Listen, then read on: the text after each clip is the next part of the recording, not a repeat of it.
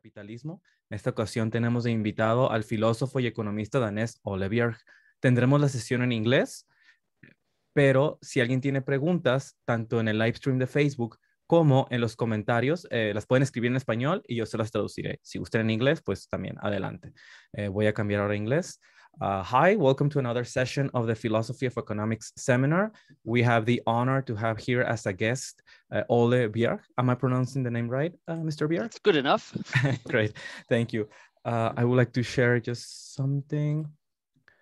Um, Ole Bjerg is a, a Danish philosopher and economist who teaches in the Copenhagen Business School uh, he has uh, he has a different array of topics that go from capitalism, money, uh, subjectivity in capitalism, and most recently uh, the topic of manhood. He has published uh, several works. These are uh, a few of them: um, "The Parody of Capitalism," "Parallax of Growth," "The Philosophy of Ecology and Economy," and "The Meaning of Being a Man." And of course the book that will that we will be mainly discussing today making money making money or in spanish hacer dinero which is an, uh, an amazing book i have to say uh, so uh, without further ado uh, Ole, thank you very much for being with us today. It's an honor. Uh, please uh, begin with your presentation. We will have the Q&A session at the end of it. Um, well, go ahead, please. Thank you. Yeah, so I wish I could say something in uh, Spanish, like introduction, because uh, I, I think I only know dos cervezas, por favor, and vaya con días. So I'll just open with that. You can, um, you can finish with the last one, actually.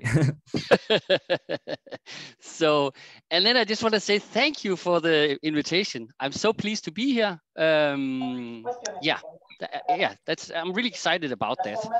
Uh, ah, yeah, okay. And um, I also want, also want to say thank you to Jesus, uh, who has been extremely competent and generous in uh, making this book available in Spanish. I'm, I'm very, very grateful for that. And then thank you to all your the participants um, for yeah having an interest in my work. And then finally, I also want to say now I see Fabio actually clicked in. He's a very new friend of mine. But I also want to extend a thank you to him because he wrote a this paper, which is called A Self-Fulfilling Prophecy, and then something else, something else with Corona that I read. And it was extremely helpful to me in preparing uh, what I'm going to say now, because what I want to do is I want to talk about the book. And then I also want to, but the book is, even though it just came out in Spanish recently, it's, it's, it's a few years old. I wrote it sort of in 2013 14, I can't remember, 13. So a lot has happened uh, since then. So I want to sort of start with the book, but then also sort of continue some trends into today and give my uh, opinion about what I believe is happening today. Um, and for that, uh, Fabio's work has been uh, very, very helpful. So I shared in the chat like a disposition of the uh, three questions that I'm going to address. And the first question is, what is post-credit money, which is this idea that I develop in the book. The second question is the question of why has the money system not yet collapsed? Even as I was writing the book, I was kind of thinking, oh, it's going to collapse now, it's going to collapse now. And um, well, we can debate whether it has or hasn't, but anyway, it's it's it's worth thinking about. Um, and then finally, I want to also end with the question of what can we hope for? Um, so, um, and also when I was writing the book, I found it was very easy to paint like a very gloomy picture of the future. Unfortunately, I think that's just been become even easier today. It's very, very easy to do that. Um, but at the same time, I, I will say that I feel somehow more uh, optimistic than I've ever felt.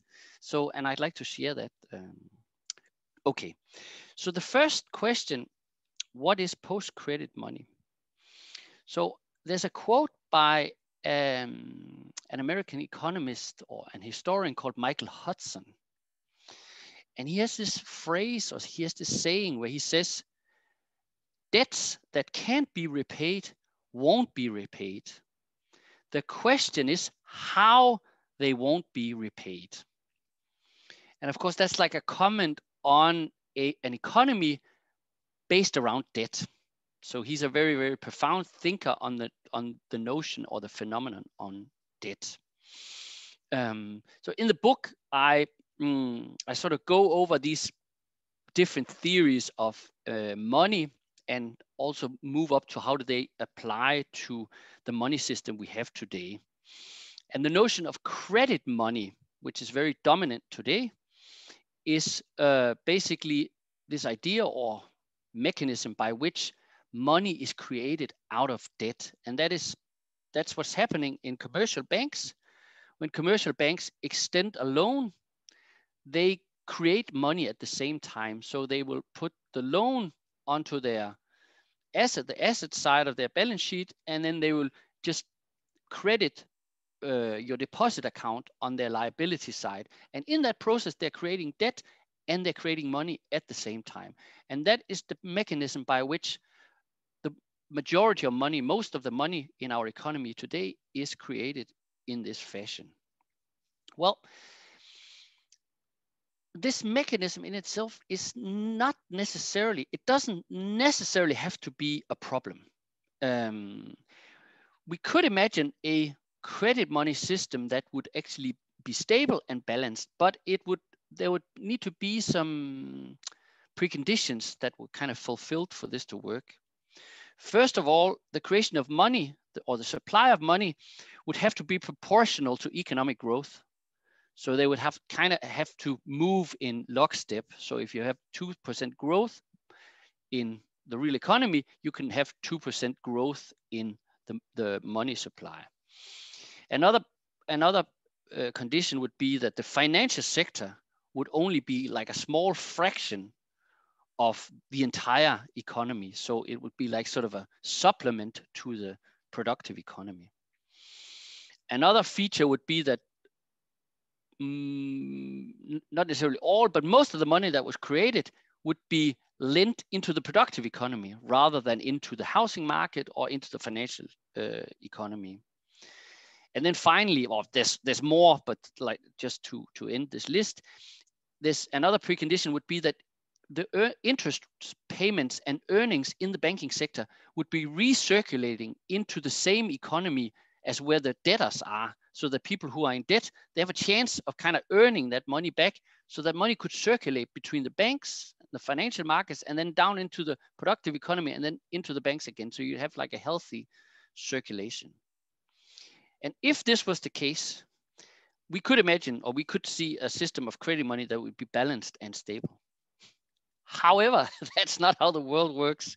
It, I mean, none of these things are true. Um, and they're even like they're getting less and less true as we move on. So um, we have a money system that is kind of based on creating, it's just creating growing amounts of debt, more and more and more debt. And it's self perpetuating in the sense that the more debt there is, the more there's a demand for new credit creation and new money creation. And what that produces, the, the uh, like these are the phenomena we see in the, the economy today is that we get a, an economy that's much more unstable. The more debt we have, it, it becomes very unstable, this economy. It also becomes much more unequal. So there will be a tendency for all the money to kind of concentrate in a smaller, smaller uh, section of the economy. What also tends to happen with this kind of, and we, we're seeing that in different places, we're seeing it in the US, for instance, is also that this money system kind of moves the, the focus and the pivot point of the economy into the financial sector, which means that the productive capacity of the uh, economy uh, is kind of eroded. Um, and then another word for this is also what we know as financialization, so that this financial dynamic or the is kind of what is driving the economy.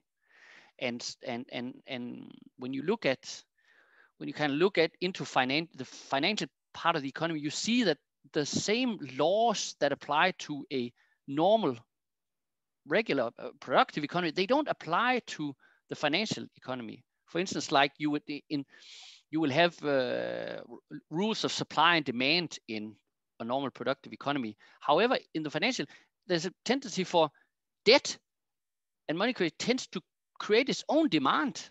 So the more debt there is, the more there's a demand for it. Uh, so it, it's kind of self-perpetuating. So there's different rules, and and so what happens is that we get an economy that is kind of runs by this uh, financial logic. So today, I think few, if any, economists, anyone who knows just a little bit about economy, um, think that all these all this debt, this ever-growing debt, is ever going to be paid back. I think I think everyone knows it's never going to be paid back. Like the U.S. Uh, foreign debt, everyone knows it's never going to be paid back. How, how, how would that ever happen? Um, so we have this system where of perpetual debt, like today when when when people take out a mortgage in order to buy a house, it's like on the basis of thinking that well we just need to pay the interest rates and then we'll just roll over the debt. So we have these, and the same it's the same with government debt. It's just rolled over, rolled over. So so that plays into mm, so that is what I mean by this post credit money so it's credit money, but it's post credit in the sense that it's based on debt, but it's based on a debt that everyone knows is never going to be repaid.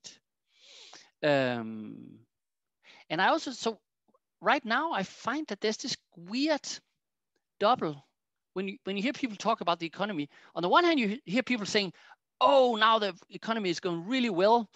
And then at the same, and sometimes it's the same people, they say, and pretty soon it's gonna crash. So there's this this sort of ambivalent. We don't, yeah, mm, we're not sure where it's going, or or maybe it's doing both at the same time.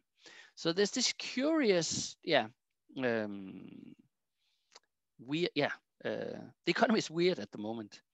So the question here, going back to Michael Hudson, is so this this this debt that's created in by these uh, post-credit money how is this debt not going to be repaid?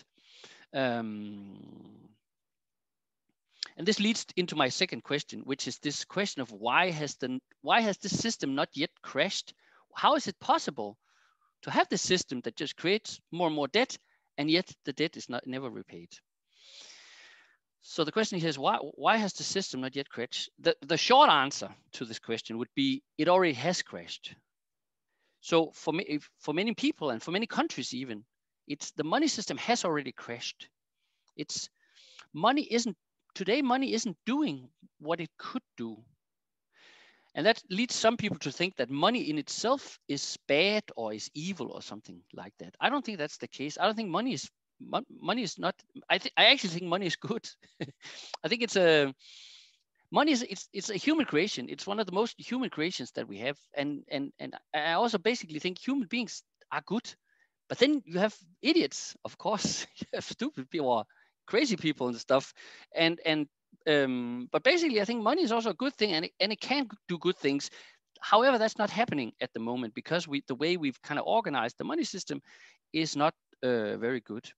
Um, I think there's a there's a there's a huge potential in money that is not being redeemed. Hmm. And that goes on the sort of societal level, society and economy, but it's also on a personal and existential level. Um, and of course, I mean, the usual topics here are poverty and inequality. Those are obvious, but I think it extends even further than that. To, I mean, it, it seems to me that even rich people, even the ones who have a lot of money, they're miserable.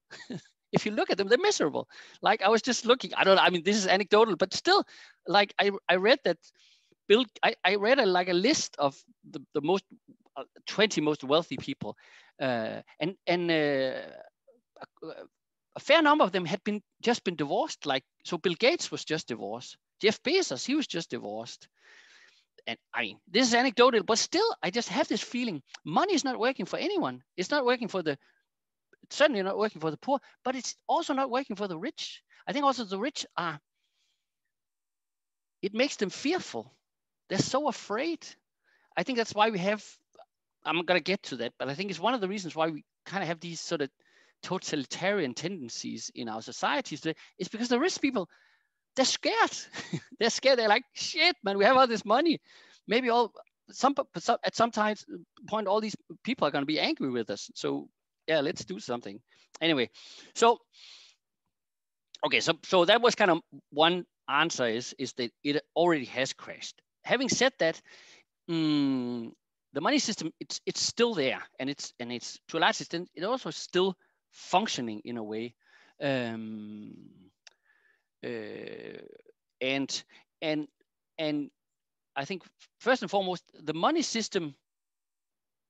If the money system were to crash properly, then something else could move into its place, and that's certainly not happening. Well, it hasn't happened. It may be happening, but it certainly hasn't happened yet.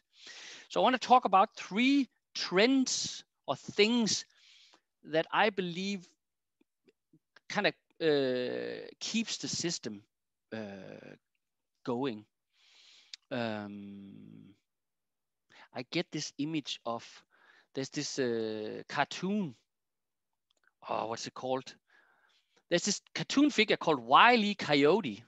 It's this guy. It's it's this uh, prairie wolf or something, and he hunts this uh, this uh, Roadrunner yeah, yeah, yeah. He hunts this runner and then he gets in trouble all the time. And then one like a classic scene is he will run and then uh, they, they they come to like a canyon and and then the runner does something flies or whatever. And then Wiley Coyote he just sort of continues into thin air. And then he keeps running in thin air only to the point where he then realizes oh shit I've I'm over the canyon and then he falls. And I'm kind of that's kind of where the economy is now I mean, we should have fallen, but for some reason we haven't. There's like some mechanism that that hasn't kind of um, okay. So what is it that kind of keeps the money system going despite um, all this debt and all this? So the one, the thing I talk about in the book, one of the things I talk about in the book, has to do with derivatives. So you can see that the financial markets and financial institutions, they themselves are creating a mechanism that can kind of sustain this ever-growing debt. And um, and this is derivatives. And what derivatives do is that they they kind of allow the market, the financial markets, to keep absorbing surplus debt, surplus money, and surplus risk because they're kind of like they're just these meta products that are kind. They are more or less. They're not entirely, but they, they tend to be kind of disconnected from the real economy. So they can just keep expanding. That market can just keep expanding and expanding and expanding. Um, and that kind of absorbs a lot of this uh, surplus debt. And what it also does is that it, to some extent, I wouldn't say it insulates, but it, it also tends to disconnect the financial markets from the productive economy. Um, so there's something in that. I, I described that also in the book that that these derivatives, they, yeah, they kind of allow this the financial markets to just keep expanding more or less independently from the productive economy. So that's the one trend. Another trend, and this is something that I don't write so much about in the book, uh, perhaps also because it wasn't it, it wasn't as prominent when I was writing the book, but it has to do with central banks.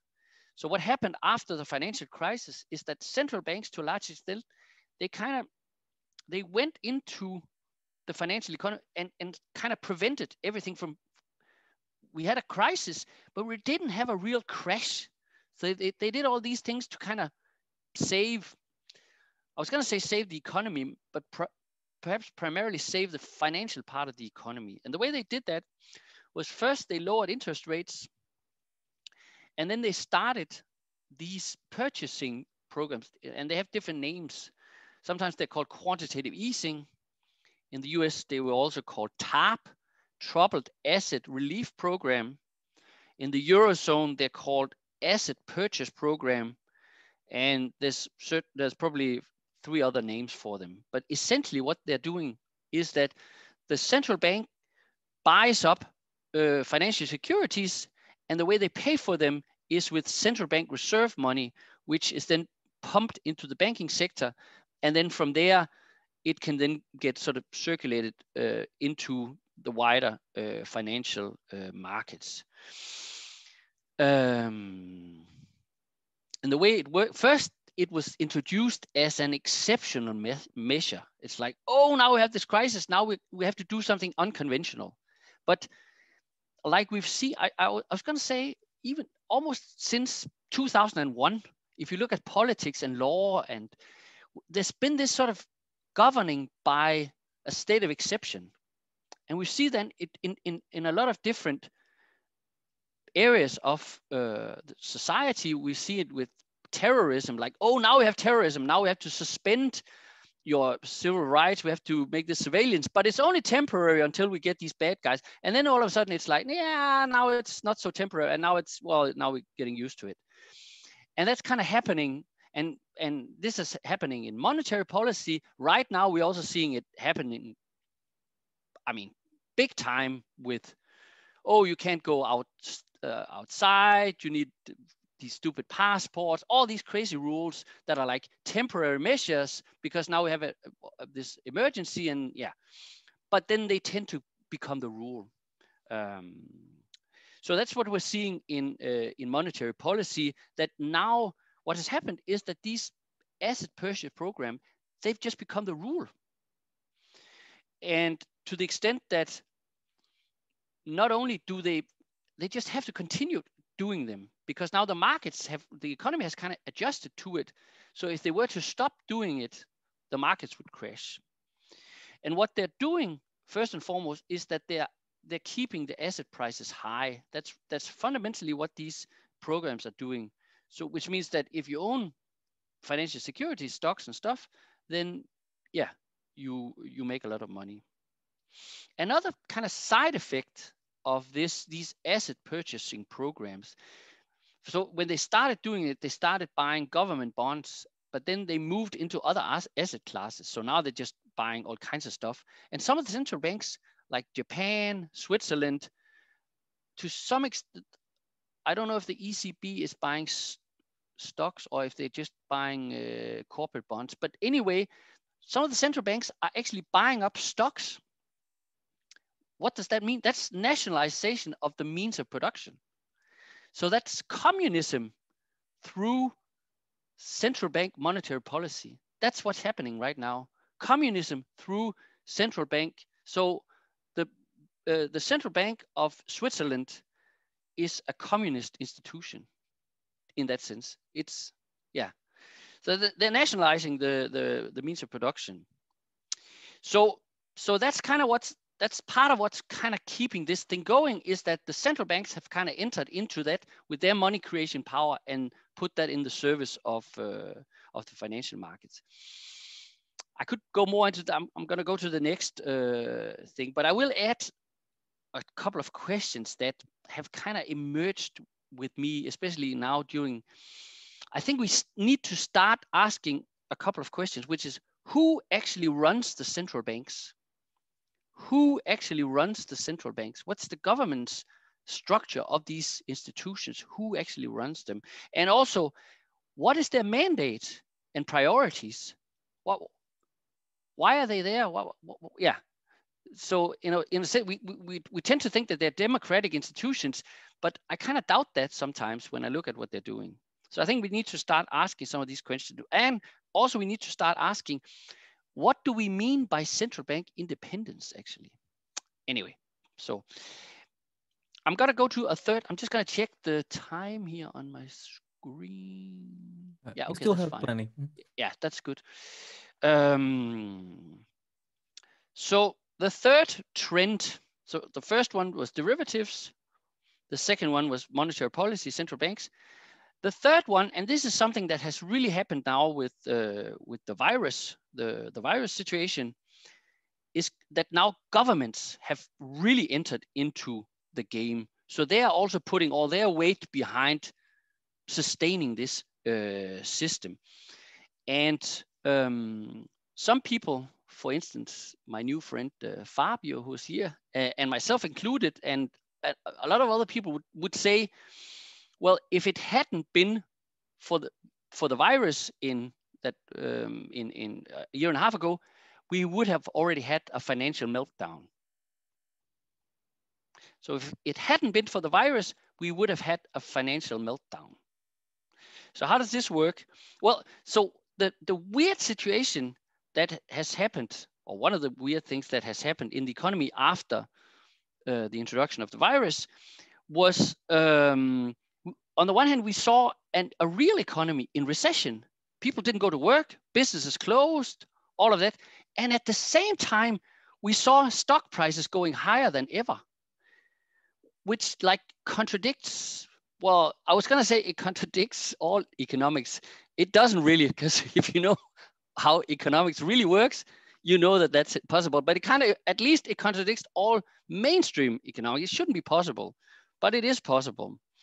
Um, and how is this, how is this possible? Well, one of the things that the, the virus did was that it created an excuse for the government and the central banks to continue and even accelerate these policies of quantitative easing. So if you look at the balance sheets of the central banks, which kind of measures the amount of securities that they're buying up and also the central banks, central bank money that they put into circulation, it, it kind of like it was going up and then it went up even further. Um, so that's one thing that happened that that just continued. And then secondly, what happened was that governments started just pumping money directly into the economy, just like literally giving people money. Like you can't go to work, you can't do this, you can't do that, but we will give you some money. Here it is. Um, and that came in the form of direct payments. It also came in the form of business loans. And at the same time, a lot of businesses were also, especially small and medium-sized businesses, were, uh, were closing down. They, they, they couldn't survive this uh, situation.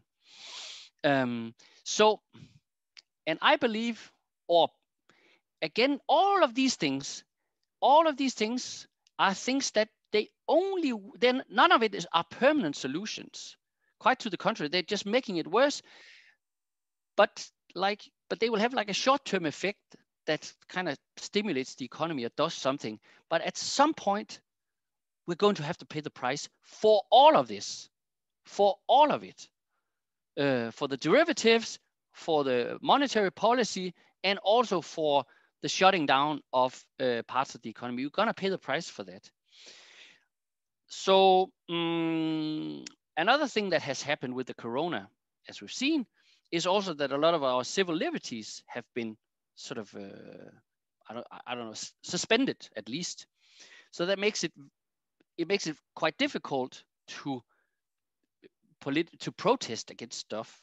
So that means that when, and maybe that is already happening, when we start feeling the economic consequences of this whole crazy scheme of things, then we're in a situation where there's already like uh, restrictions and all that kind of stuff in place, which is going to make it very hard for people to to protest um, or or risky at least.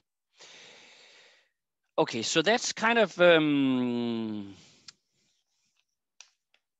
yeah, that's so. So I believe we're kind of at the we're at the end of something. There's something something is gonna give, and it's gonna give soon. Uh, um, so so so um, yeah. So the question is, yeah, what is gonna happen? Um, and and at this point, I'm not gonna. I could we could like I could sort of we could go one route, which was to just continuous like thinking about, yeah, where would this end? Um, and we could end in something that we could call. Uh, anyway, I, I'm I'm just gonna I, wanna I wanna go to rather than kind of paint a much uh, even gloomier picture. I'm gonna switch and say, so what should we hope for? What can we hope for? and it's coming from like um, it's not just something I'm making up. It's really. I do hope for this, and I believe in that that good stuff is going to happen. I will say, however, something that we should not have hope for.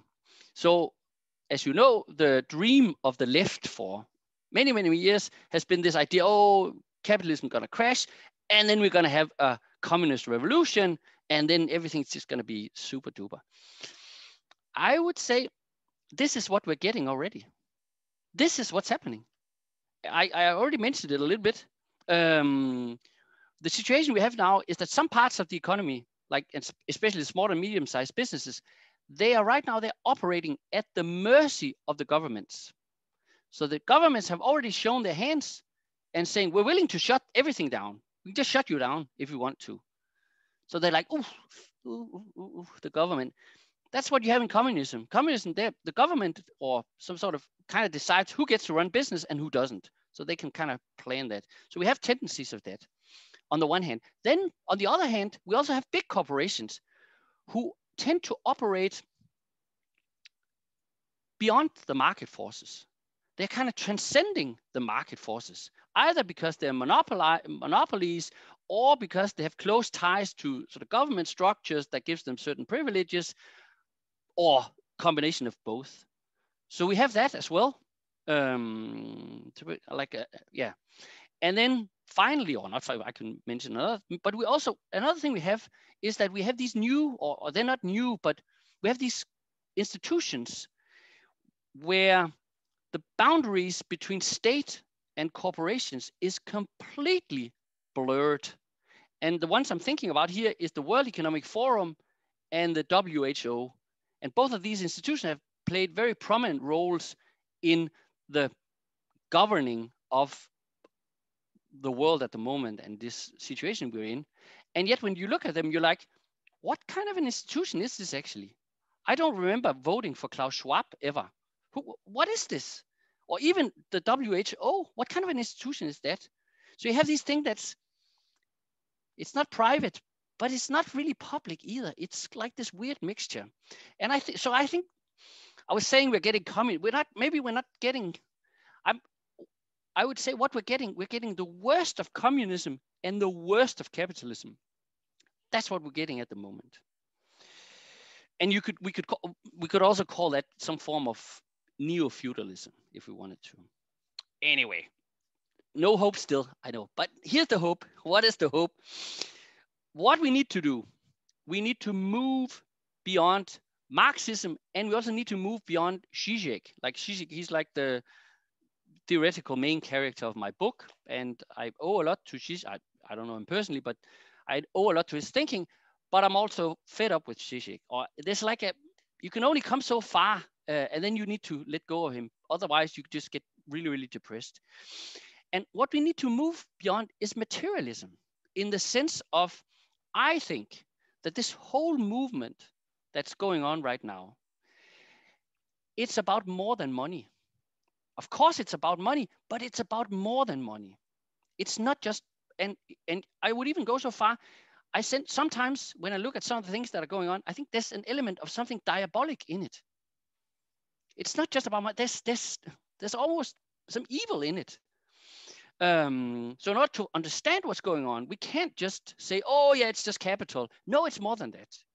And in a way, it's worse than that. The good thing is also that it kind of forces us or forces people into another realm. And what I see happening is some form of spiritual awakening that's going on at the moment, something that also transcends these materialist ideas of both Marx and Zizek. There's something else going on. And that's really uh, my hope. And what I believe is that I think we're moving from, we're in the process of moving from an old paradigm and the old paradigm was one where we would all be looking for freedom, but we would be looking for a particular kind of freedom that was given to us by systems. So the idea was, oh, let's build an economy that will give us consumer choice and meaningful work. Oh, let's build a political system that will give us some rights. Let's build a legal system that will give us justice. Let's build a medical system that will give us health let's build an educational system that will give us knowledge and so forth. The problem with these things or the limitations of this is that as long as these are freedoms that are given to you by the systems, they can also be taken away by the systems. And that's what we're seeing right now. That's what we're feeling with our bodies. All of the things that we took for granted are getting they're taken away from us like that with a snap. The good thing about this is that it forces us into a new paradigm where what we shouldn't be looking for is not freedom, it's sovereignty. Not freedom, but sovereignty. And I think that's what people are waking up to right now. Um, and the difference between freedom and sovereignty is that sovereignty is not something that's given to you by a system. It's there all the time. It's something you are, it's with, with Heidegger, we could say freedom is ontic, sovereignty is ontological. It's part of your being. You just need to wake up to it. You need to realize it. Um, you just need to look inside and and find it and and wake up. And then it's and then it's there right in front of you. So what does this mean in practical terms? Well, in the realm of money, I think what we're realizing is that we don't need we don't need all these we don't need governments or banks or central banks for that matter in order to create money. We can create our own money. So that's what's happening in the world of cryptocurrencies. It's a really good thing. People are taking their monetary sovereignty back, or no, they're not taking it back. They're just discovering it. Oh, we can just make our own money. We'll do that. The same thing is happening in within health. People, a lot of people are waking up to the fact that we don't need the medical industry to be healthy. We can do all kinds of stuff with our own bodies. We can do meditation, we can do breath work, we can do plant medicine, we can do all kinds of stuff. We don't need these corporations to give us our health. We can just create it ourselves. And another thing, and um, you say there's this saying you shouldn't shit where you eat. so, but that's what I'm gonna do now. Another thing that people are waking up to is that we don't need universities to educate ourselves. Young people, I know this, they just go on YouTube rather than listen to old farts like myself. Uh, they just, it's right there. And it's even better, a lot of the things they get. So they're just checking out of the, um, checking out of the universities and, and looking for finding knowledge elsewhere. And we, I could do the same thing with all the systems. So in all the systems, people are just checking out of them uh, and rediscovering or discovering their sovereignty uh, and figuring out that that's a lot better. Um, in a way, I was thinking maybe this is kind of a second Reformation. So the first Reformation was people discovering, oh, we don't need the church or the priests in order to find God. We can just check in with him ourselves. So we don't need that. And it's like the same movement is now happening with all the other systems. Like we don't need the health system to, yeah. So, um, and in this process, the knowledge we need in this process, or the ideas and all the things and principles, some of it is new, but a lot of it is just old. It's just rediscovering old stuff, old knowledge that we kind of, oh no, this is stupid. We don't need this anymore. And then we're rediscovering that now. And I will, to, and this is going to be my final point. Um, so this wake, waking up is happening outside the systems and inside the system. So outside the systems, you will have people who are just lay persons who say, "Oh, I don't need the medical system. I don't need. I, I can just be healthy myself. So I didn't. Oh, I don't need that system." But it's also happening inside the systems. So there's doctors waking up. There's academics waking up. There's lawyers waking up. There's judges waking up. There's even some politicians who are waking up. There's people who are waking up inside the systems. And and I think ultimately that's gonna make these things crumble because they're gonna this all the systems, including it's gonna be like raisins. It's like that they're, they're just gradually drying up. Um, and I think it even once we start thinking about thinking in, I'm, I'm gonna finish now. I'll just as the my final word here is, I think even some of these figures like Bill Gates, Tony Fauci, Klaus Schwab, they're even gonna wake up. They will even wake up. So it's gonna be great I think this so you so so um, yeah, I see that's happening, and so I'm I'm extremely optimistic that we're just waking up to we don't need these systems. Um, yeah, and then we're going to be sovereign, and that's great. Thank you. Thank you very much, Mr. Bjerg. I can tell you how excited I am by everything you said because I think I I I, I reached some of those ideas myself, like just uh, wondering about them. The education one i saw that here in mexico right? Uh, the government kept insisting on online classes and poor kids they were so sad right? Like forced on the screen doing uh yeah doing things they don't want uh, at home. And and at the same time i was learning for example I mean, i'm not a kid but i was learning to use new software through youtube right? And doing a lot of things that this is how education is supposed to work. What do i want to learn? Where can i get it right? You don't need like a, a, a centralized system for that. The, the, education should be evenly distributed in every aspect of our lives i think. And, and regarding your spiritual awakening uh, there's this book i always talk about. People here may be sick of it uh, this life by martin hägglund which uh, i will rec- i will write it uh, i think yeah, i think yes, maybe yes, you should please. read it because it has this yeah. idea of a spiritual awakening of uh, what we should what our societies should shift towards uh, is the value of free time, or the value of owning our time and do what we want to do with it. But that means commitment, not like hedonistic, uh, not like hedonistic, do whatever you like, regardless of what happens, but commitment of what the material conditions of existence are necessary and, mm-hmm. and how we should um, existentially change our, our system of value to, to, to value and confront what we want to do. And in that challenge, find ourselves because even if i want to i don't know be a, an engineer maybe i will fail at it but now it will be because i know that i wasn't fit for it and not because i didn't have the time because i had to work a workless job that doesn't do anything so mm. and i've seen other proposals kate soper uh, uh, uh, an English philosopher, she has a proposal called alternative hedonism, which she's basically says the same thing that we should mm. shift or um, uh, or or idea of pleasure and a good life to a slower moving one uh, com- communality uh, mm. stuff like that. So, so, but i notice this these ideas keep growing and growing and growing. And with the face of climate disaster uh, upon us uh, it, it's uh, i think it's becoming even more relevant that the community is what builds us right? Uh, what you say about money it's something uh, oh, you want to say something? Excuse me.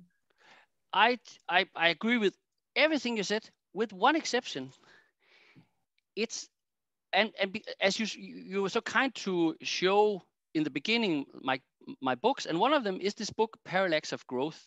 And in that i actually i, I kind of go into this debate about climate change and all that. And i have no I, I don't know anything about the climate science and i have no opinion on it. But what i do have an opinion about is the fear that's running through that whole idea. This whole idea that we're on the brink of total destruction or total catastrophe.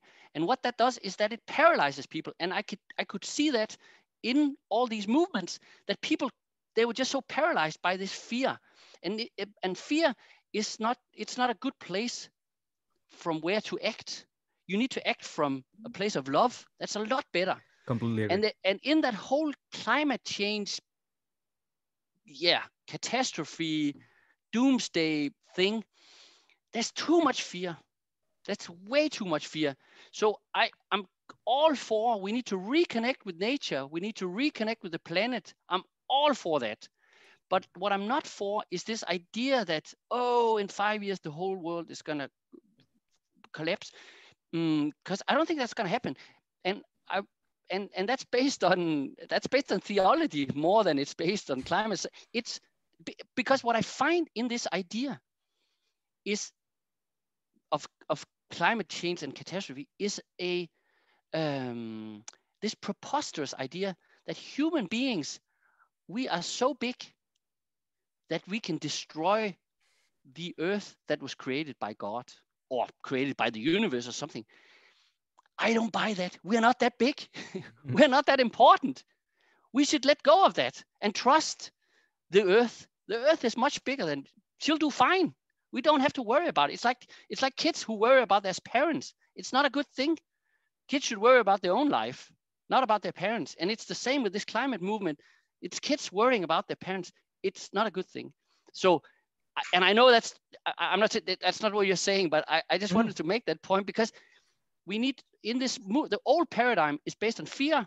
The new paradigm is based on love. So everything that has to do with fear, let go of it and then move into love. I completely agree. And even in your book, you stated that way, right? Like, like uh, it's a system that runs on risk, trying to solve risk and then creating it, right? It's it's the same idea that when you fear something, you will bring it about, something like that, right? Yeah, uh, and, yeah. and we and we works towards that.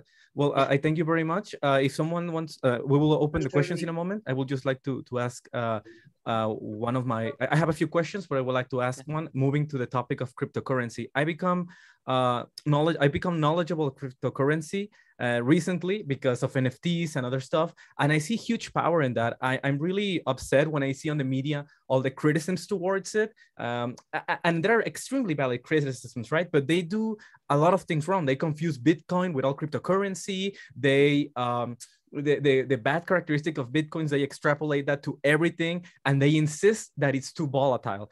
But what about the volatile of this system that we're living like i don't see how the that volatility is somehow worse than the uh, current depreciation that we're living my, my question goes like this we've recently seen how cryptocurrency gains even more traction and adoption and news and everything. Many countries are developing their own digital currency. That, that's something funny. Uh, you can see in the newspaper, oh, cryptocurrency is volatile and awful. And then uh, right after, China is developing its own cryptocurrency. So, I mean, that we should change our imaginary on that. But, but the, in, in your book, you describe how financial capital works with the state. Basically, the financial capital makes money. They make money making money, like you said.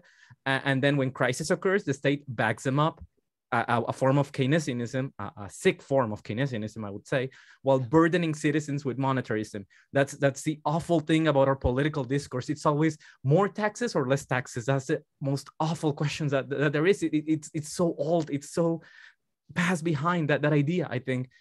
I see this as a state being negligent in the best case and an accomplice in the worst case. Do you see any potential in cryptocurrency to offer a new monetary imaginary and with a new monetary imaginary, a new political one, uh, like you said, of creating our, our own money that we can determine how it's uh, how it's minted. Uh, I don't know all of that. What, what do you think about that, that idea? Well, I think you you've answered some of the question yourself. So I'm I am, and I see the same things in the way that. Uh, so I have these journalists. They kind of whenever Bitcoin is going up, they call me and say, "Oh, what about?" and and they post these questions. Um, one of the things I really like about cryptocurrencies, and it kind of comes back to, so I wrote this book about poker, and one of the things I liked, so I compared poker to financial capitalism. But I would say one of the um, one of the advantages, one of the better, th- one, one of the reasons why I, I like poker a lot better than capitalism, first of all, is a lot more honest. yeah. Maybe people may be bluffing, but you know they're bluffing. And and also you can decide whether you want to sit down in a poker game or not. You can just if you don't like poker you can just not be in it. But that's not the way our monetary system works. It's not like oh i don't want to be in that. However now that opportunity is opening up so if people want to use bitcoin they can do it. If they don't they cannot do it I think they use the dollar instead or something else and I think so. Th there's also. Excuse me, I was trying to mute someone else, uh, Mr. Bjerg.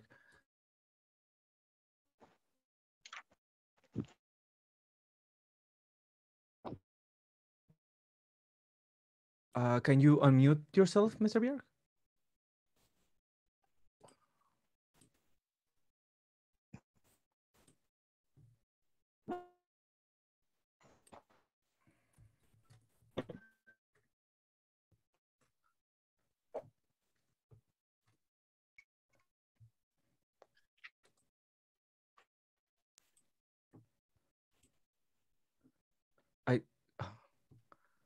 I think I'm back now. Yes, you are. Sorry yeah. about that. It, moved then. No, that's okay. I think my my just now that we're in the technical area, I just want to turn on the light here in my because it's it's getting dark here in my living room. So just two seconds. Please go ahead. Yes.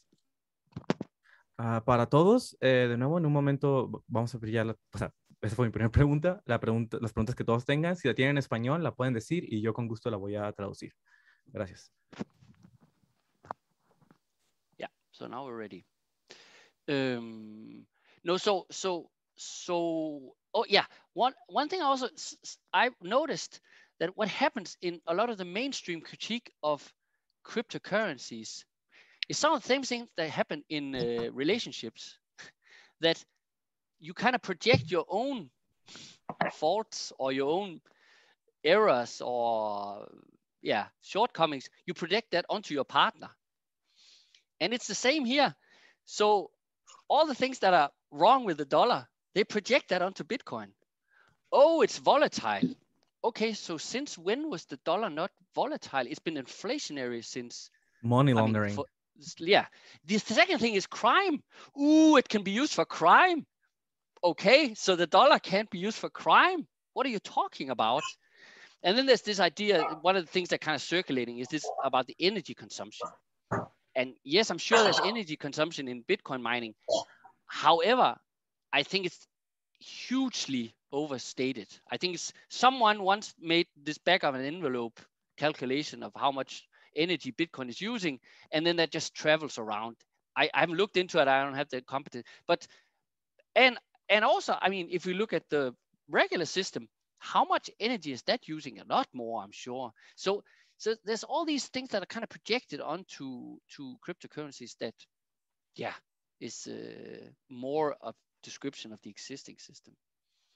Uh, so, yes, and, and I mean the, the money, the the energy consumption. I think in Bitcoin it, it is. I mean it is very real because of how it works, but is it really doesn't happen with most other cryptocurrencies. So so yes, I mean they just uh, yeah. talk about one specific instance yeah. and not about uh, everything else and also the potential right the potential for communities to form their own money uh, and how it's uh, transacted and for what i think that's extremely powerful and an idea that since the media doesn't really understand money i mean most of them uh, they really don't want to imagine any, any version different yeah. of it for example let's, what, oh, let's yes? look at let's let's open up for uh, let's open up for some questions from uh, yes. Yeah from from the audience. I don't know how you want to run it whether people announce this in the chat or whether they just unmute or how that works. If someone wants to raise their hand and uh, and ask a question or write it on the chat please go ahead. Uh fabio wants one.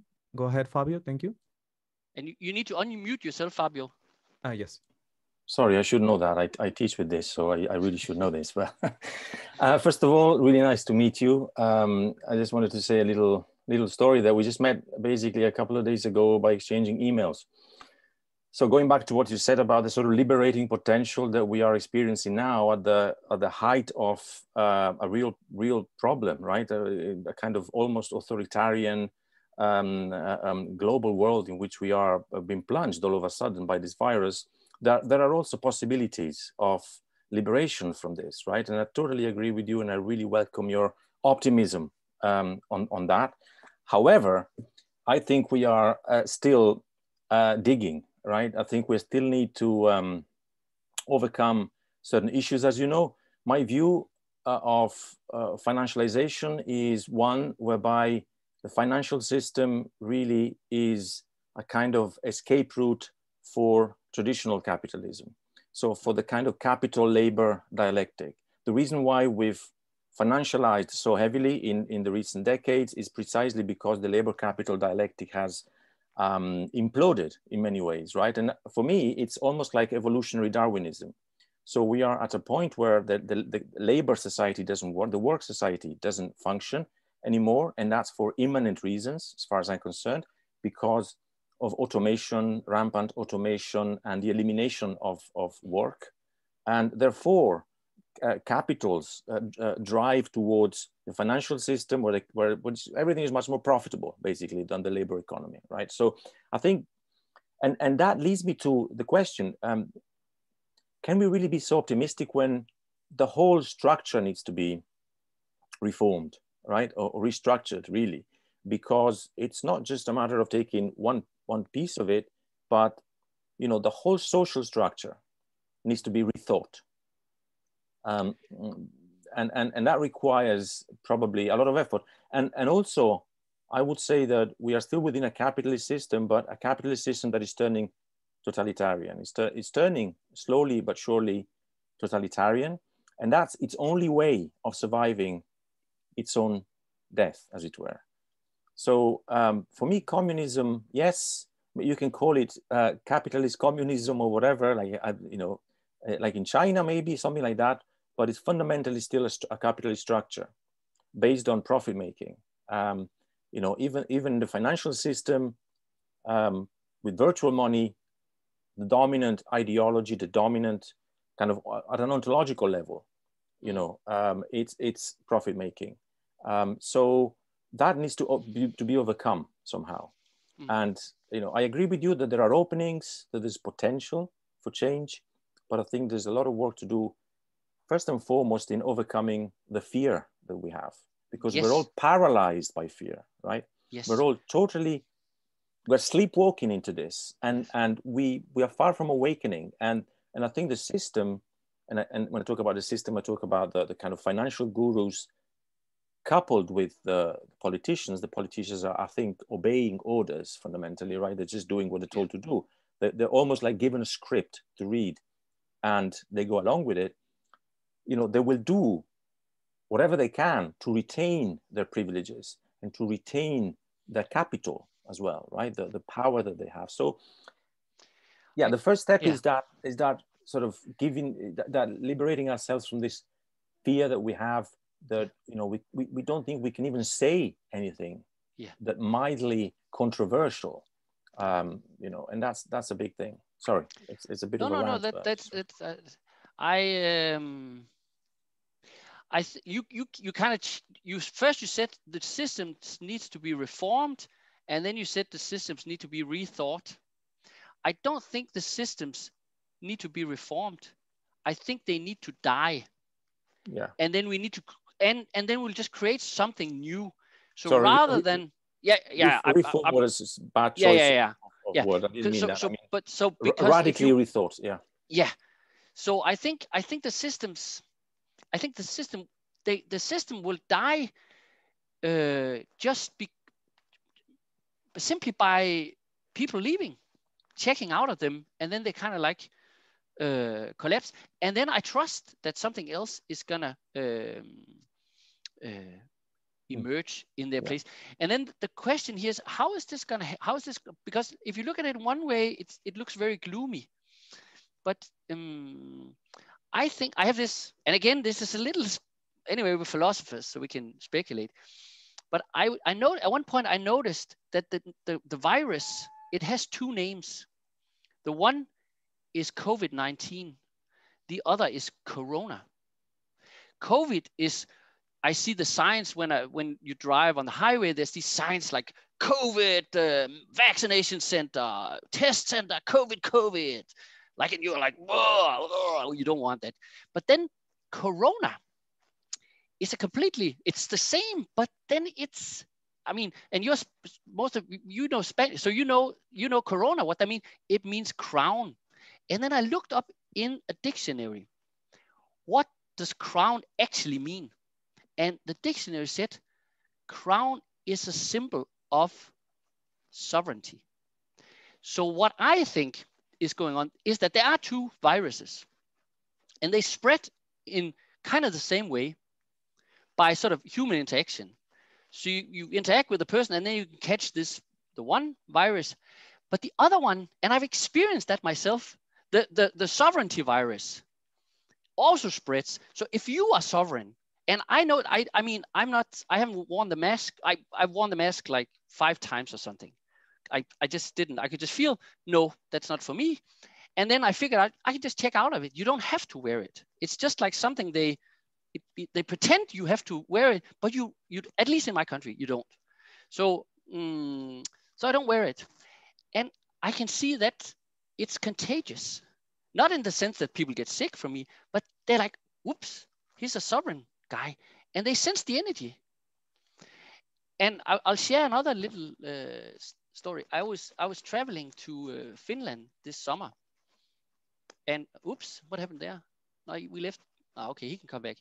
So ah, he moved there. Anyway, so um, I was traveling to Finland, and I'm also not the all this test thing is also not for me. So I I, I didn't want to get tested because yeah, I'm not sick. So why would I want to be tested? Of course, you you need to if you're sick, you need a test. But if you're not, you don't need a test. Anyway, so but I had to travel. So I went to the airport and I was like, will they let me on the plane? And then I was at the counter and in front of me was a, the system in a way, but it was a human being. There was a human being in front of me. And it came down to that human being making a decision of whether I got on the plane or not. And I got on the plane, also the other way. And I think that's what's also happening here is that people inside the system are waking up as human beings. They're kind of, and when that happens, that whole power that is based on systems is just going to crumble. And that can happen very fast. So I think when the, when the real corona, the sovereignty virus, when that starts spreading, and I see that happening, I see that happening, and I, I've yet to see someone who has waken up who has fallen asleep again. That's not happening. It's only going one way, and it's going to be exponential. So I'm, uh, I, and so I think that's the, that's that's how the the change is going to happen. Is people getting the real, the good coronavirus, the sovereignty virus, because they see other people, and they see, I mean, that I know who are sovereign, who are like, oh, they're happy. they're optimistic like me. They're happy. So you kind of look around. Do you want to be one of the, oh no, I get the virus? Or do you want to be one of these guys like, oh yeah, I'm happy. Everything's going to be fine. What, what team do you want to be on? So I think a lot, I mean, yes, we also do need to do some practical thing, but a, a lot of it is just also about just energy. Like if you spread that energy, uh, people wake up. I, I truly believe that because I've experienced it myself and I see it happening all around me. Thank you very much for the answer and the question, Fabio. Uh, by the way, Fabio, is there any way you can uh, share with us in the chat the paper that Ole mentioned he read from you, that, that will be great. Uh, you have something else to say? I, I just want to quickly, very quickly, um, just to say that I've experienced, unfortunately, the opposite. I was trying to be sovereign in, in an airport and I was almost beaten up um, for not for not wearing the mask, right? Um, yeah. And, and and I when when you feel that degree of discrimination, exclusion, and you know violence, really, um, then you fear for the worst. Um, yeah. And and and and and and yeah, it's it's not nice. And you, you think yes, it'd be nice if it happened um, so easily that people suddenly awaken and realize that there's a different way of going about this. But I think that uh, in ideological terms, um, those who are in power will do whatever they can to keep instilling fear, to keep controlling populations, including through, you know, central bank digital currency. This, as we know, the central banks have been talking about it for a while. I can see how the passports, the digital passport, will lead eventually to that, and and that will create even more. But uh, you know, I I don't want to elaborate on that. I I love your optimism, and I, I share it, and um and yeah, so sorry about that. But about the paper, I can share the link. That will maybe? be great. Thank you. Yeah, uh, Jesus has uh, a question. Go ahead, Jesus. Thank you. Uh, yeah, thanks. Uh, well, I am surprised because I think that usually philosophers tend to be not that optimistic. I think it goes against the, our our discipline, right? So it's interesting to see the uh, somebody who goes against this powerful tradition in, in our uh, discipline. Uh, my question is in the in the at the end of making money, I think uh, you are for a more tradi or maybe you are expecting for a more traditional movement that will change things and that can change the way we're making our money and I, I, know also that you are part of an organization in Denmark that was trying to organize uh, to, yeah, to advance a, a, very ambitious reform on the monetary system. And a few years later, it's like uh, society, I don't know if we lost our interest in the monetary system in the central banks. But for example, now in the midst of this huge crisis, it seems that there are no political uh, organized groups fighting in this like more traditional way. Maybe in the individual, at the individual level, we find some uh, change of attitude. I, I don't know, some lights that start to, to, to show here and there, and we can expect that something good is going to happen. But at the same time, uh, I don't know, it's like we didn't uh, overcome the trauma of the crisis, the big financial crisis of 2007 and 2008. And nowadays, even in the midst of this huge crisis, uh, like for example, we don't have, I think we are weaker now than we were a few years earlier uh, in terms of, yes, questioning how the banks are working or fighting for a, for a, a something ambitious in terms of reforming the banking system. Uh, so I, I, think I'm trying to go back to the proverbial pessimism. I'm not taking your bait, Jesus. so I will say this: it is true that that like parallel to my sort of academic work on um, on money, I've also been engaged in so the Danish branch of the what it called the international monetary in the international movement for monetary reform. So the, in the UK is the positive money and um, but I actually um, I left that movement, and uh, the reason is that um, while I still think that there there there there, there was there there was a way or there is a way that you could implement central bank digital currencies in a good way that that could happen or it could have happened. I think we're past that point but it could have happened. But i i experienced that all of a sudden central banks became very interested in the idea of central bank digital currency however they seem to be interested in it for the wrong reasons and also I, I, I suspect or I sense that they may be implementing it in the wrong ways. I think Fabio touched upon this a little bit. So rather than, for me, central bank digital currencies would have been a way of taking the money creation and put it in, in putting it back into a democratic institution and using it to gain sort of sovereignty, have, have like a sovereignty of the nation. So the nation creates its own currency and has sovereignty. That was my idea.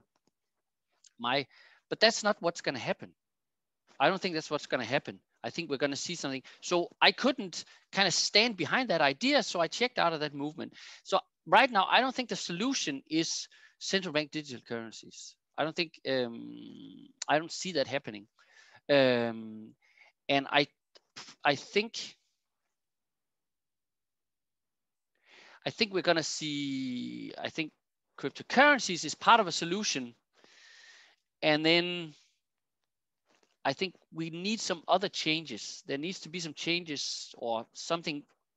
We need to sort of rediscover our political sovereignty, our legal sovereignty, and so forth before it makes sense to I think make a new like national if we if we even gonna get that a new national monetary system. So I think it's a, I, I, it's a good question, uh, Jesus. Um, I just I, I, I just think that the battle right now for me is is on a completely different frequency, or it's it's about Yeah, something I- else. Uh, I just had th- this idea now. Maybe you don't uh, have an answer yet, but have you thought of just as you came up with this beautiful concept of post-credit money to describe the kind of money that organizes capitalism today? Uh, I wonder if you have thought of a name for the kind of money that could uh, take us to a, a different. Yeah. Maybe it's a challenge for the yeah, for a forthcoming article. it's it's actually it's something I so. mm, Sovereign money. Yeah, I'm gonna. I think I'm gonna. So what I do in the in making money in the making money book is that I use I take Zizek's concept of the subject and then I apply it to money. After I've written the book, uh, wrote the book, I, I kind of little. I, I have a certain dissatisfaction with Zizek, and one of them is I think that his idea of the subject is too it's too poor. It's a subject. His the fundamental co concept in Zizek's conception of subjectivity is desire. So that's kind of what defines a subject. I think that belongs to the old paradigm where you desire some sort of object that circulates in a system. So you kind of rely on it's like relation between the subject and the system. I think what what I believe or the subject that we need the way we need to think about the subject or the human is through love. So it's not desire that is kind of our defining. I think even this idea of desire kind of pushes us to the level of animals rather whereas love is something that kind of pushes us upwards it makes us bigger beings and i think that's where we need to go we need to have and and Zizek, he i know he has ideas about love but they are crazy or they are not very good so we need to build a new understanding of the human being in terms of love and then the question that i haven't answered yet myself but i'm it's kind of i'm thinking i need to think about that at some point what would the equivalent form of money or the corresponding form of money, what would that be? What would that look like? And I would say, as much as I love cryptocurrency, I'm not sure it's going to be Bitcoin. Uh, or I don't know. It's um, what kind of human relationship would would it constitute? But it's a good. Uh, it's yeah. I think I'm just. Uh, it's a really really good question, Jesus. Uh, and uh, yeah, I need to think more about it. And we need to talk more about it. Thank you, Jesus. Uh, unless I see, well, uh, we still have time for questions, but I would like to read a question from the Facebook uh, stream uh, yeah. from Francisco DeSantis. I'm, I'm reading directly. Firstly, I would like to say that your book, Making Money, is very stimulating because it shows how Zizek's ontology has a great interpreted, interpret, interpretational, interpretational, interpretational, interpretational capacity to analyze different kind of subjects, in this case, money. Having said that, I'd like to ask you about the last part of the book, specifically the claim about banking reform inspired in Huber's and Robertson's seigniorage reform. It was a very unexpected conclusion, although I didn't have a precise clue about what how the book was going to end. The absolute conservatism, um, quoting, of the reform is to restrict the bank's capacity of lending money and restore the state monopoly of making money. Essentially, as you suggest, it is to force the banks to act according to the ideological belief that the people already have about them to set up an equivalence relation between the credit money of the banks and the fiat money created by the government. I think that such reform wouldn't generate an experience of traversing the fantasy, but an attempt to materialize the fantasy in the real world. So, in Zizekian terms, what will be the ideological effect of that reform? Wow, what an what an amazing reading and question! Wow, I have the feeling it kind of connects the two previous questions, um, or the, the, discussion we just had. I just had with Jesus. Well, the thing is, I, as I've moved beyond the book, I kind of tend to agree that no, that's not a good solution. It's not. It's it's too flat in a way, and it's too. Although I I, I don't think conservatism is necessarily a bad thing in itself, but there is something conservative about kind of like pulling banks back to something. And I think that's what I believed at the time, but I don't think I believe it anymore. I think there is something we kind of need to uh, push forward to, towards something else. Um, and so, so the question was something along the lines of, was it traversing the fan, what truly traversing the fantasy or was it something along those lines? Lucas? Yes, excuse me. I have it here. Um, the, the, the last part, right? Yeah. I think that such reform, that the solution wouldn't generate an experience of traversing the fantasy, no. Quote, but an yeah. attempt to materialize the fantasy in the real world. So in Zizekian yeah. terms, what will be the ideological effect of doing the reform? Ah, okay. Mm-hmm.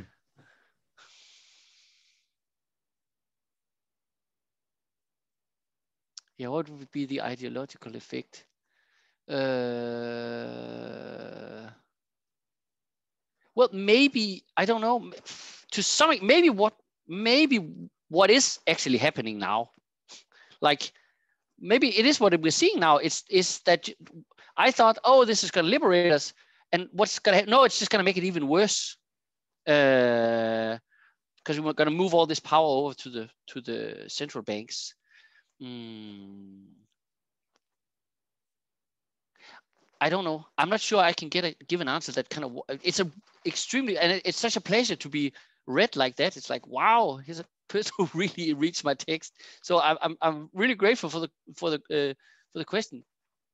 I think it's something I need to go back and kind of rethink a little bit more with this uh, Zizek thing. Maybe Fabio can help me. Uh, you wanted to say something, Fabio? I just wanted to say that maybe this notion of traversing the fantasy is actually a crucial one.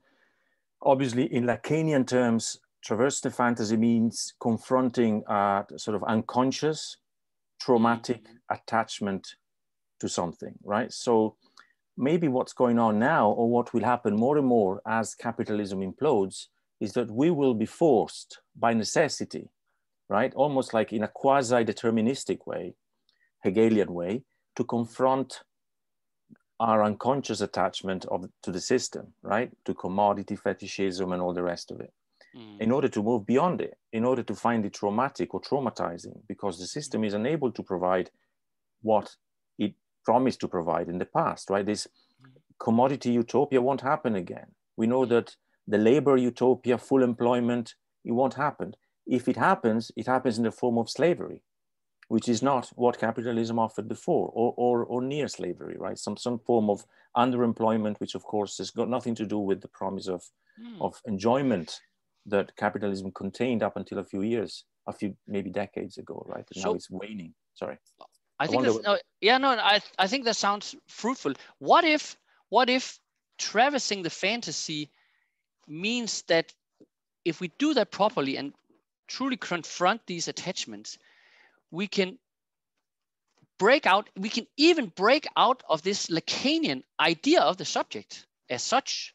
We kind of, we, we break out of, yeah, that whole scheme and get into another, because I think the, the, the thing I have with Zizek and, and Lacan is that it's, it's a tragic figure. It's always like yeah, then you traverse the fantasy and then you get rid of one desire and then there's just another one. And it's it's always unfulfilled. It's always like the next, the next, the next, the next, the next. This is tragic figure. Um, and I don't like that. And I was kind of thinking, I was thinking a little bit about the difference between desire and love. Whereas desire kind of it's it, it has its attention towards the object all the time and it's always unfulfilled. Whereas I was thinking about love, I was thinking about so I met I met uh, this summer. I met my um, the, the the the girl that I was in love with when I was in third grade, or all through my like kindergarten and all that. Uh, I was just in love with her, uh, and I was. We never really. I don't know what you would what even do when you're third grade. I mean, I didn't know what, but I just I was just in love with her, and then I met her again, and I was just like, wow, it was just so nice to see it, and the love was still there. And I was kind of thinking, wow, even though we never did anything or anything, maybe that was a full experience of being eight years old and just fully in love. So, and, and we have this concept of I am in love. I am in love. So I can sort of be that. So I'm, what I'm trying to think of is whether how that kind of this sense of love kind of fits the idea of sovereignty because it's it's something that's actually independent of anything external I can be, she doesn't have to be in love with me. I can just be in love with her. And then that's fine uh, in a way. So anyway, I'm, I need to think a little bit more about this, but there's, there is something about sort of, if we were to go through this Zizek thing, I'd want us to get so much momentum that we can kind of go all the way out of the center of gravity of this ontology of lack. I want to move beyond that and and going back to your question jesus i think that's also my in, in a way my theory of money is also a tragic theory because all the three theories are incomplete. That's kind of the point there. Yeah commodity theory ah not so much. State theory ah not so much. Credit theory ah not so much. So we just get this endless circulation. So i would need to think what would a money that kind of moves out of that whole ontology of that what what would a full form what would that look like? Uh, i haven't figured that out but uh, yeah. Uh, thank you very much fabio. Uh, is there any other question or hand um, I, I, there's no more things on facebook uh, if not or, or while someone has a question um, uh, Martin Hägglund Ole has something very beautiful in his book This Life that says love is not the end of res- responsibility, but just the beginning. And he tells that love implies responsibility with the thing love uh, it's, I think it's what you're saying that if you if you love your partner, your community life, you have to work towards it. It will never be fulfilled. It will never be, but that's part of it. That part of being in it is part of being involved, actively involved in it. It's not something you're passive towards, but something you're active towards, but not in the Zizek sense of of like anxiety or, or wanting it, but of working with it and knowing that that the finitude is part of what makes it beautiful as well. Yes. So and, yes if I could add something, I, I love that idea. And what I also find is that if you if you approach the world with love, it allows you to actually take responsibility and also to a large extent take control of your experience of the world. So I um, I did a I did a podcast with one of my friends, and we had this. So we we we we we wanted to um, we made this meditation where we would think about who who is our who's like the who who is who is the one that is most difficult for us to take into our hearts. And my friend, for him, it was the director of the Danish Central Bank, and for me at the time, it was Klaus Schwab. So we made this I made this Klaus Schwab meditation where I would visualize Klaus Schwab's mother holding Klaus Schwab. Uh, so, and, and what that did to me, I, I could really sense because before that I had like this, ah, Klaus Schwab. And now I'm more, I don't, I don't fear Klaus Schwab anymore. I can love him. I can, I can kind of see, well, Klaus Schwab, you you also play your role in this whole waking up process. So thank you, Klaus Schwab, for waking me up thank you. I love you for that. So i think if we approach the world with love um, i've also i'm still working on tony fauci i will say. I'm not i'm there i'm, I'm not there completely. I need to work with uh, tony fauci but i'm there with klaus schwab. I can and i can recommend it to you. So um, yeah. So if we yeah. So so if we can just meet meet the meet the things we love and then we and then the fear disappears. And then we are invincible then they, and I get it, Fabio. Yeah, you get knocked out, and I don't, I don't want to. But anyway, I just think this, yeah, general approach of uh, love is, and then they lose, then they they lose control over us. All these systems of domination, they're based on fear. So if we can check out of the fear, we become uh, invincible. I yeah. I will. Uh, yes, uh, I, I will check well, who you mentioned, uh, but uh, yes, uh, actually, well, Hägglund says that that fear or anxiety is always an existential part of us in that sense. But yes, it shouldn't let us blind us if we work with love and responsibility and actively engage in what we care about. I would like to read a question from Facebook from Tijuana Grassroots, uh, grassroots organization over there, but they're interested in this changing gears a bit with, uh, with a question, how can the technologies of cryptocurrency help us organize other systems in society outside of finance? Are you familiar with the concept of cyber socialism? End of question. I'm not familiar with cyber uh, socialism, um, but I will say I was, uh, I was, I think this was last year or half a year ago. But anyway, uh, at some point within the last year, I was contacted by uh, two guys who had made a system which they called um, ION. And ION stands for I owe the network. Mm. And uh, it's and it's it's a it's um it's not necessarily cryptocurrencies, but it can be connected to a cryptocurrencies. But it is this sort of very very ingenious uh, network to to to uh, to facilitate uh, exchange and it has this sort of built-in. It's kind of like um, foolproof in the sense that it can't be financialized. So you can create credit in it, but there's something, there's a mechanism within it, which means that you can only create credit to the extent that you have like a productive capacity. So it's like, so anyway, and this, I'm sure there's plenty of, but this is just one that sort of came uh, um, my way. So that would be one example of, I think, doing some of these things like facilitating real economic exchange uh, in, a, in, a, in a good way. Uh, so uh, yeah, so yeah, so so that would and I yeah, as I said, I think there's I think of course there's some cryptocurrencies are scam and they yeah yes but then there's others that are brilliant um, so i think yeah i'm i think that's an area where technology is our friend. Thank you. Uh, i don't see any other question there. Does someone uh, present at the session have a, a question they would like to raise uh, while that happens, I don't see any hands yet. Uh, I would like to raise a, a philosophical kind of question. Um, mm-hmm. You let me. Uh, Graham Harman is an American philosopher who has had like a beef with Zizek because he proposes object-oriented ontology. My question goes towards that, and also with something Fabio mentioned. So if you want to chime in in a moment, Fabio, that will be great. Um, uh, something I'm passionate about your book is that your view towards money is not condescending. You study it in its depth object-oriented ontology and new, re- new realism have a similar approach. They say basically that all objects are profound and their reality exceeds us. We, you can never exhaust objects because they, they, they are something different from us. They are not de- determined by the subject, even though we can project ourselves in them. They are not fully determined by us. Uh, this goes in line with post-humanist philosophy, where human subjectivity no longer has dominance over objects, but acknowledges their influence over us.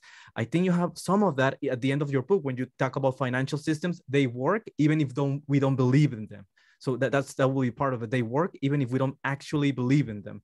Um, Graham Harman actually has the concept of overmining that describes your account of post-credit money, a money reduced to its ontic reality as a, as, as a financial flow, completely bowed to its creators, doesn't do anything else than that, unable to work differently.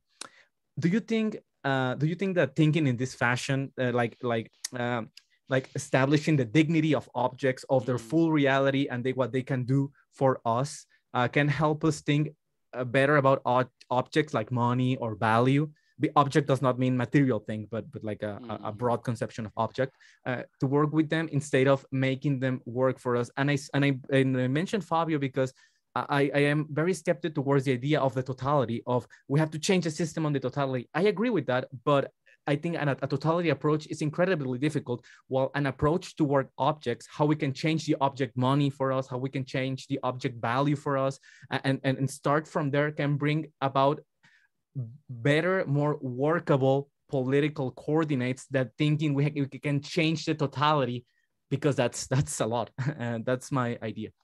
Um, mm-hmm. thank you. I think um so i agree with so i i like i, I like what you said about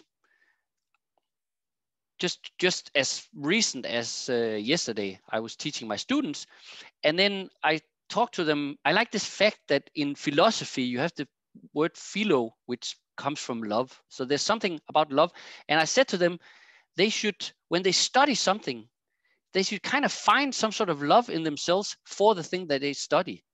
Because otherwise it's it's your analysis, it gets, yeah. So you need to love the thing that you study in some way or another. So I like that uh, that idea. And I also like the idea of thinking of money as something sacred. That's also an idea that I that Charles Eisenstein that I love very uh, like very much. He also has. Then there was something in. I mean, I don't I don't know. Maybe I'm I don't know. I only know as much about the position as what you just presented. But there was something about making going from thinking us as superior to the objects and then making the objects superior to us and i maybe i'm mis interpreting what you said, but whereas I would more like move towards that we're on the same level and also not, I would also see if I could move towards connection, like, like, like we're connected to things rather than being separate from the objects, we should be connected to them. So in that sense, we should kind of, um, yeah, uh, uh, yeah, that's just my sort of when I listen to what you say, I think it makes sense. And and but but I would go with connection rather than distinction. And and maybe he he also moves that way.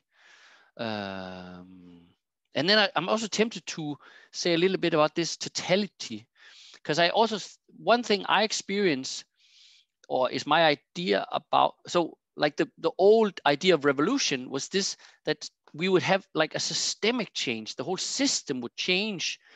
And then maybe the, the, the revolution would just be propelled by a minority of people.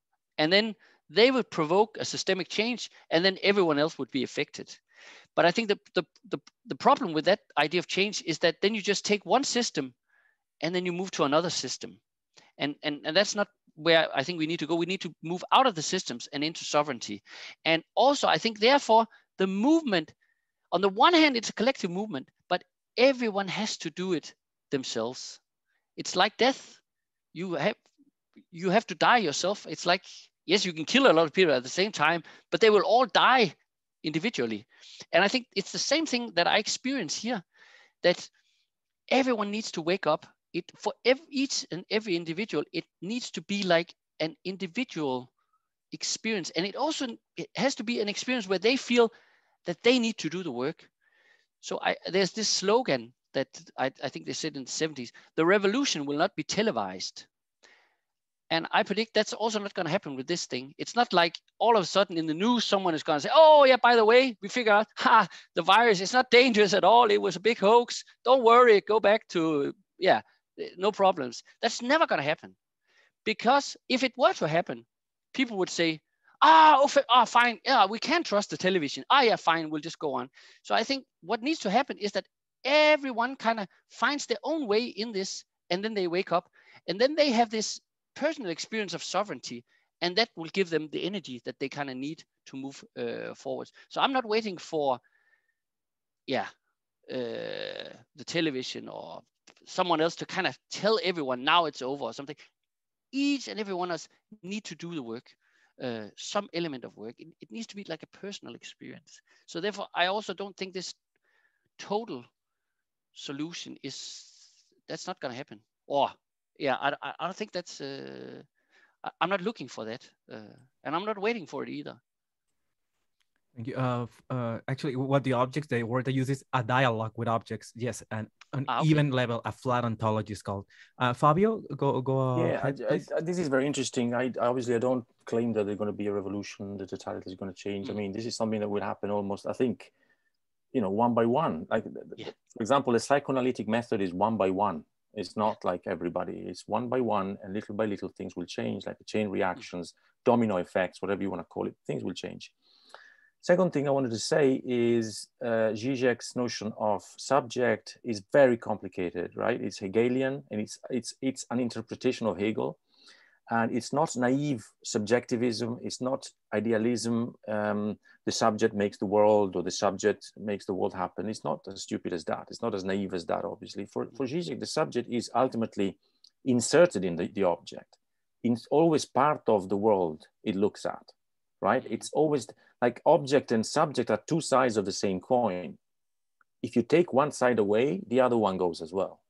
Mm. So that's that's Zizek's ontology, I think. Subject and object are always part of the same whole, of the same uh, totality, or whatever you want to call it, right? In Hegelian terms of, of the same reality, let's say. Mm. Um, so that makes it interesting. And I, I, think that gives it an advantage over um, object-oriented ontology, um, which is I think much more naive, um, less. I don't think is it's it's it's. I mean, it reminds me a little bit of some critical theory positions back Frankfurt School. Uh, the preponderance of the object that you got with Adorno, for example, the object is always something that you can never catch, is, is outside, etc., etc. Whereas I think it's more interesting to think subjectivity as always already inserted in the world we're looking at. We're never looking at the world from outside but always inside the world we're looking at, right? This would be Zizek's um, position. That's on, um, on, on subjectivity and objectivity. And then there was another point, um, I, for, I, completely forgot. Um, the last point you made, Ole, I, I totally forgot. Uh, I think this was the one with the individualized experience or the individual. The totality. Yeah, oh, okay. Yeah, okay. Sorry, I think yeah. you answered that one. Yeah, yeah, that's fine. Yeah, yeah. that's that's. I think I wanted to say something else, but you know, it went. Mm. I need to have my dinner. Would you like to answer Ole or? Uh, I think it's this is beyond my um, uh, going to say beyond my pay grade, but that's not the right phrase here. But it's beyond. I, I think I, you know much more about this uh, object uh, uh, oriented uh, ontology. Uh, that yeah, I'm I'm yeah, I'm I'm not. Uh, One more thing I can say maybe in relation to love, right? You mentioned mm. love, and I I'm, I'm tempted to defend Zizek's. mm. Yeah, no, yeah. I'm tempted, right? I'm not sure. Yeah, no, go ahead. But go ahead. Uh, like Zizek would say, okay, um, you know, with capitalism, capitalism has also as oh that's what i wanted to say earlier i wanted to say something about fear sorry i'll go back to that now yeah. maybe the reason why people are not awakening or the majority are still not giving up fear right they're still hanging on to fear is because they know that if they relinquish their attachment to fear they will lose the world they know hmm. because yes. that's the ultimate attachment to a world that is coming to an end, that it's imploding. I'm absolutely certain that this is capitalism is in, literally on its last legs, and financialization is is almost like a fetish to keep it going, right? To give it a little bit extra fuel, to keep it going a little extra mile, a few miles, and that fear somehow gives people, in a very conservative way, rather, right, the feeling that they are hanging on to what they have, even if deep down they know that it's not working any longer. Mm. You know, I think that, that that's something that maybe is worth reflecting on. Yeah, I, I, I, I totally agree with it. I actually have a, I wrote a book or pamphlet, but I only published half of it because I don't know, for various reasons. And it was about conspiracy theories. And um, and you always so you have this question of why do people you, you always ask why do people believe in conspiracy theories and then it's like, oh, yeah, it's because they're crazy or they're in this echo. So what I asked was the other question why do people not believe in conspiracy theories? And I think the reason is exactly what you're saying. And I came across this concept in Wittgenstein, where Wittgenstein had these this concept of hinge proposition. So there's there's like all kinds of propositions like um, if you, for instance, like, uh, oh, um, if you say the university is part of the capitalist means of exploitation, then you'd be like, yeah, fine, I'll say that, that's fine.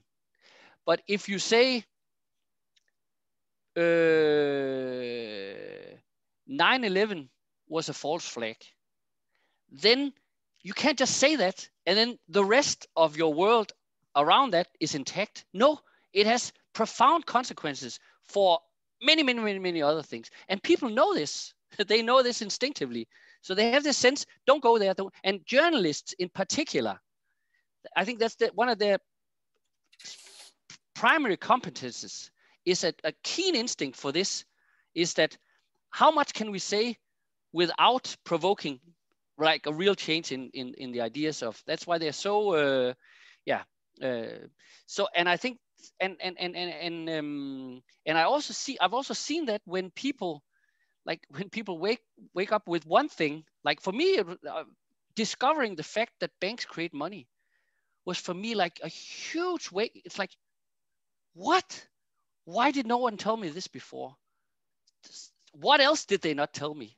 So i I've so I've just developed this skepticism, and whenever I hear someone say, "Oh, this guy's a conspiracy theorist," even though I don't know anything about him, anything about him, so I'll just say, "Okay, I'll go with that. I'll go with his opinion until even if he says, "Well, the Earth is flat," I'll say, "Yeah, I'll go with that until the other," because I just I hate the other position. I just hate it so much. Anyway, yeah, that's one of my. Um, so, but you're absolutely right that there is this. But I also think I think there's a, you talked about, there's a, there's an economy here, or there's, there's a balance here, because at some point, the costs, the costs, both cognitive, but also for the rest of your system, of hanging on to your hinge propositions is going to be so high that you say, no, I'd rather go this way. Uh, and I think that's what's happening now. And that's uh, that's why we should love Klaus, Klaus Schwab, because he's saying, okay, so this is not enough. It's not crazy enough for you to wake up. Okay, I will make it even more crazy. so he's like this, he's like this loving parent who ultimately wants his kids to grow out and move out of the home. So he has to make it a little bit more, more and more unpleasant. So ultimately you say, okay, then I go find my own place and then you move out. And then Klaus Hart will feel, oh, finally, oh, I don't have to be this grumpy old guy. I can go meditate and do the yoga and all the things that I really want to do. And yeah, so um, yeah, anyway, blah, blah, blah. I, I think I'm just repeating myself here. Thank you. That was great. Um, any other question? I, I don't see any questions on the stream. Uh, will anyone? I'd, I'd, I'd be curious. I, I'd be curious to hear what's going on in Mexico. What what's kind of on your mind? What's what what what are the big questions in in in in your part of the world? Oh well, question of that kind. um, well, I mean, well, I said at the beginning that that I mean, at least on my political perspective, even though uh, we have the president I voted for and uh, politically and economically, right? Uh, what I think it's been a bit disappointing, I talking for myself here, but for many, is that he's basically following the same the same state trends that were before, right? Maybe he's doing a bit of um, labor benefits, uh, social programs, and stuff like that, which is fine. I mean, I, I'm all for helping people and all that, but nothing that that drastically changes the nation uh, or or the people in it. Just um, um, uh, state projects that take a lot of land uh, that basically follow the same logics. One of my questions that, that I had, but, but I mean, you basically answered was where do you see political uh, monetary ima imagination being worked on? Because here in Mexico, I don't see I don't see much of that honestly. I don't know if some of my um, Mexican friends present would like to to give their opinion uh, because yes, that's, that's what I would like to say. What, what I see in Mexico is is not like a radical change in, in politics with with AMLO being elected and, and the work that's been done, but basically uh, a, a state that's trying to survive uh, the pressures that it's been trying to survive for decades. Uh, so so yes, but yes, that's that's what I'm seeing. I don't know if you have a, like a more specific question or anyone else here wants to to add something.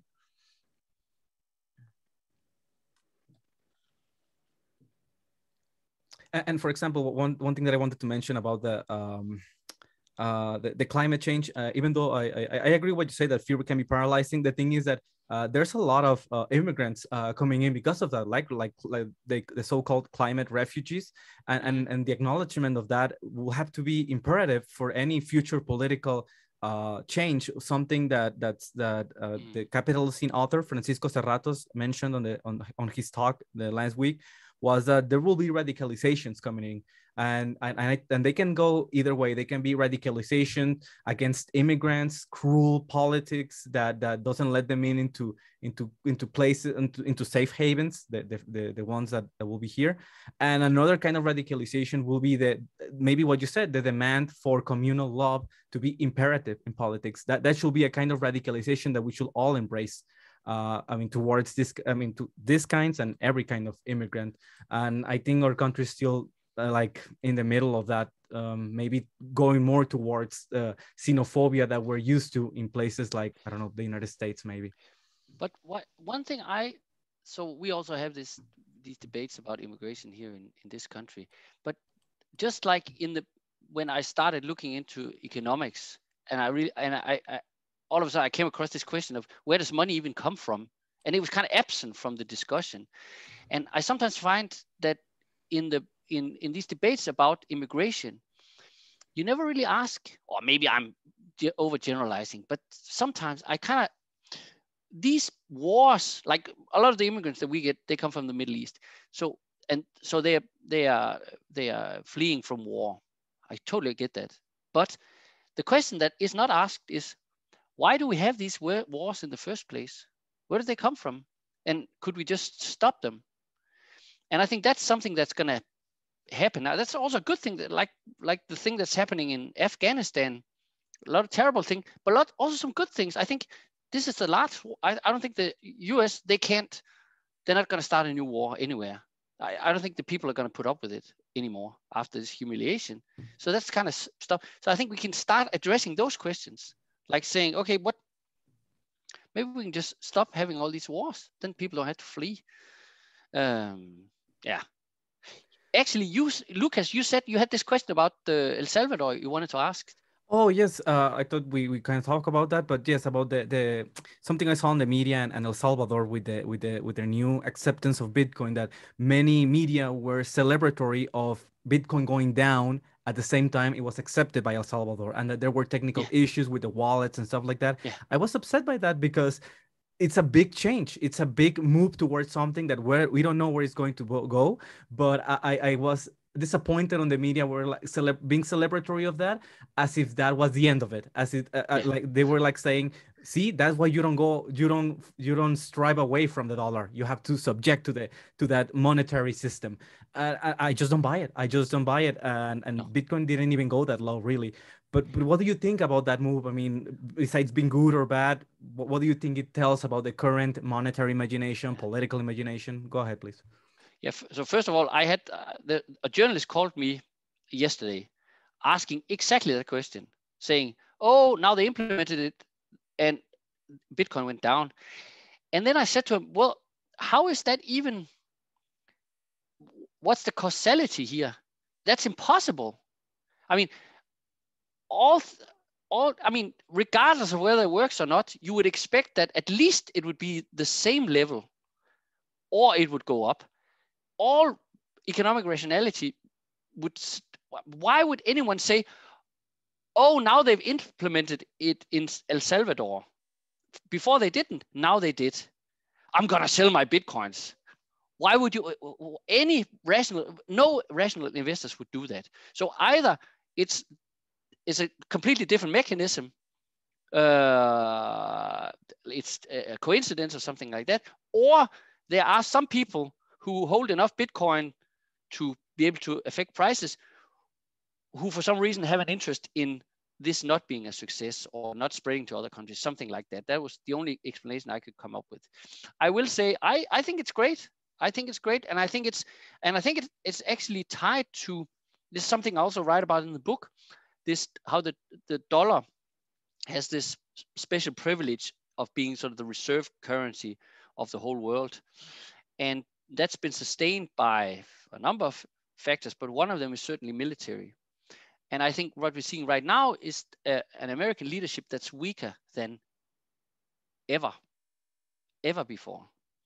Um, and and that means that a lot of countries who used to be like, oh no, we have to do what America says, they also they're getting rid of their fear and say, no, we'll just do what we want. So they, so I think we'll also see, also see a lot of countries, for instance, El Salvador, um, and uh, as well as other countries kind of also rediscovering their own sovereignty and say, oh, maybe we don't have to be afraid of uh, the United States anymore. We'll just go with uh, whatever we want. So, um, and both politically, but also economically. So, uh, yeah, I could certainly see that happening.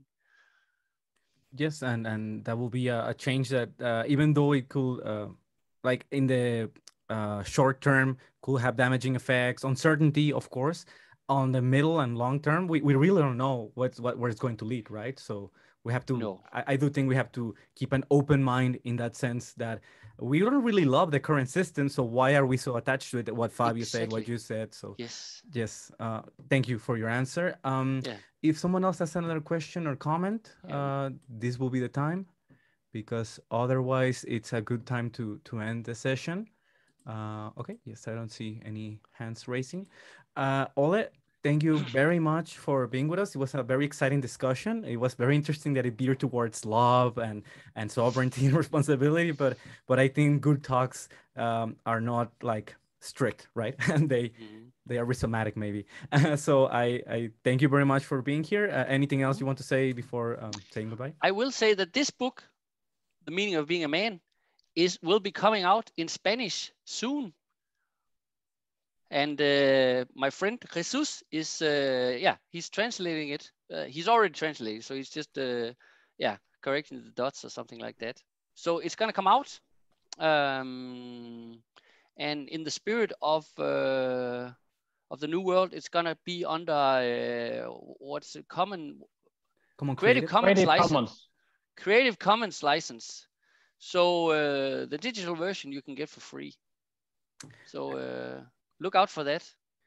Just like his book, Hacer Dinero, Making Money is for free, uh, and I put the link there. Uh, this one, this one will also be free in Spanish, right, Jesus? Uh, yep.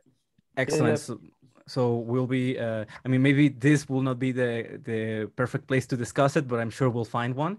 Uh, it will be a very exciting book. I'd be happy. Yeah. Yes, excellent. Well, again, thank you very much for being here. Thank you for all the participants. Uh, please follow our social media for future talks, and we'll have a have a great, uh, blessed day.